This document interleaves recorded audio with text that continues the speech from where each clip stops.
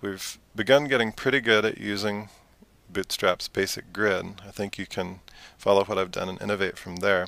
Let me introduce you real quick to their media grid.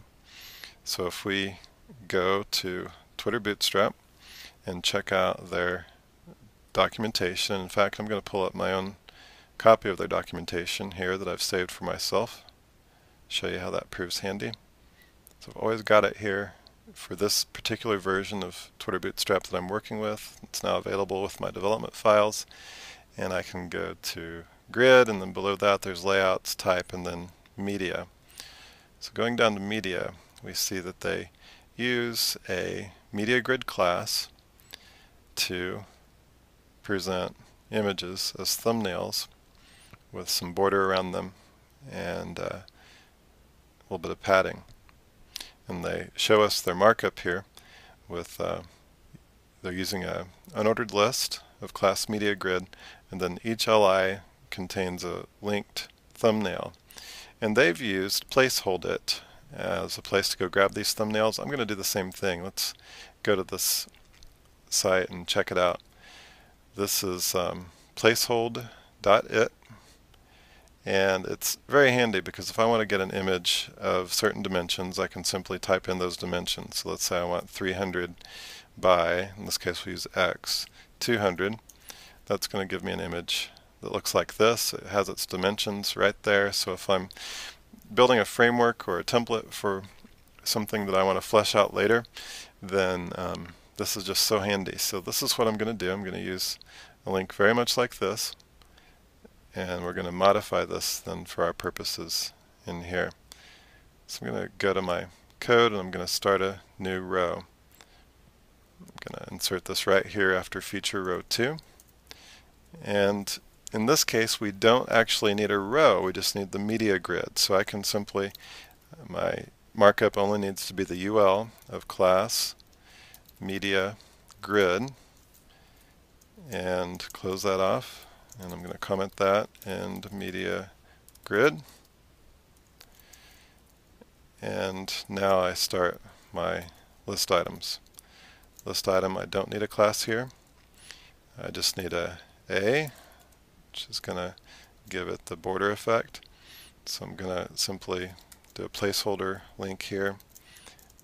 And inside of here I'm going to then insert my placeholder image. And this will be an image tag and for its source, we'll use that placehold it URL, which will look just like this. I copied it from the address bar at placehold.it, and now I'm just going to not spend time right now giving alternate text and so on. I'm just going to show you how this works real quickly here. So forgive the sloppiness as I just try to work through this quickly for you.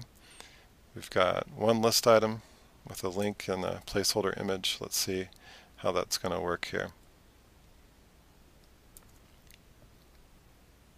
Refresh. Again, sorry for the pause while it loads those videos. It's the price of having the video embeds here. And I've got one of them. So that gives me one. I can do two more relatively easily.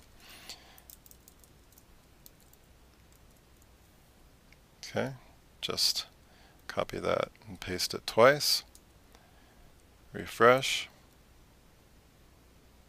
Now in this case it's not fitting correctly and that's because with media grid we have 10 extra pixels of padding and border that we need to plan on because right here we've got 4 pixels of padding to give that little bit of white space there and 1 pixel of border around the edge. This adds 10 pixels altogether once we factor in the left and right plus the 20 pixels of gutter. And so we need to reduce our width by 10 pixels for each of these. So if we want 3 across, we need to subtract another 10 pixels for that extra styling and change each of these to 290 pixels wide. Save that. Now refresh. And there it's working well. And let's say, just for good measure, that we'd like another row, this time with four thumbnails below that.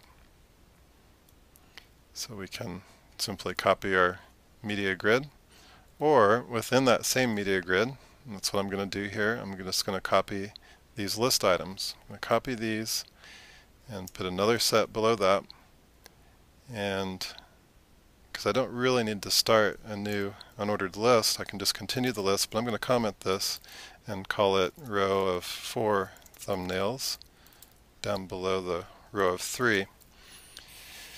Now if we want to get our width that we need to have a row of four, we can do this. Divide 960 by 4, that gives us 240, and then subtract 30 from that, that gives us 210. So I'm going to go over here and keep roughly the same proportions. So I'm going to do a 210 pixels wide over 140 pixel tall. I'm going to replace each of these next two values with 210 by 140. And then so that I can have four, I'm going to copy this last list item and all of its contents and paste it below. Save that, go over and refresh. And there, our math worked out, fits nicely, really easy to throw together a media grid this way. So now that we've got some media laid out here, let's uh, go and create ourselves a custom style sheet so that we can begin the process of, of uh, providing some padding between these rows and add a few more custom styles whenever we want to. To make it easy to refer back to this part, I'm going to create that as a separate short video coming up next.